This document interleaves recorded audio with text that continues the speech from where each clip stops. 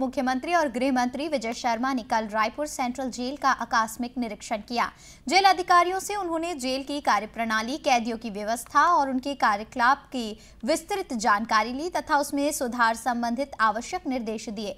उन्होंने कहा कि किसी भी कैदी को अनावश्यक परेशान न किया जाए, न ही किसी कैदी का अनावश्यक पक्ष लिया जाए। उप मुख्यमंत्री जेल में बंदियों से उनके बैरकों में जाकर वहाँ उनके प्रकरणों के संबंध में जानकारी ली। पत्रकारों से चर्चा करते हुए उप मुख्यमंत्री ने कहा कि उन्होंने जेल व्यवस्थाओं की जानकारी ली है, जो अभी भी अव्यवस्था है, उसे दूर किया जाएगा। जो कुछ भी यहाँ मैंने देखा है, कई लोगों से बातें की है।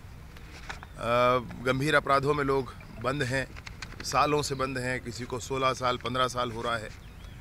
तो ये जो लोग बंद हैं ना, मैंने उनको दुख है इस विषय का, मैं ये आभास कर पाया हूँ। और एक ये विषय भी और मुझे लगता है कि कहीं किसी के मन में सुधरने का संकल्प होता है और किसी के मन में वह भी नहीं होता है। गृह मंत्री ने 22 जनवरी को राम मंदिर के प्राण प्रतिष्ठा के दिन प्रदेश के सभी जिलों में पर्व आयोजित कर मिठाई वितरण करने के निर्देश दिए। उन्होंने जेल के वीडियो कॉन्फ्रेंसिंग कक्ष और जेल अस्पताल का भी निरीक्षण किया।